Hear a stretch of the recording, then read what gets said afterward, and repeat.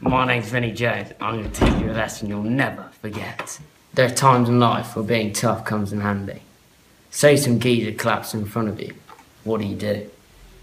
Need a volunteer that ain't breathing. Here's one I made earlier.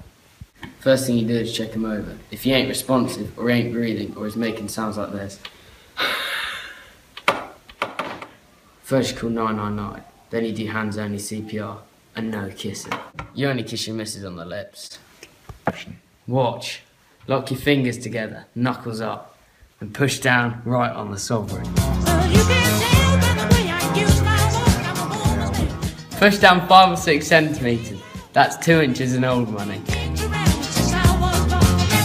Push hard and fast, two times a second, like to the beat of staying alive.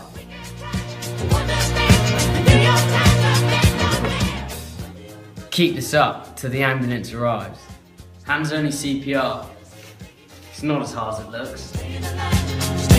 Don't forget, check him over. Call 999. Push hard and fast to staying alive. It works.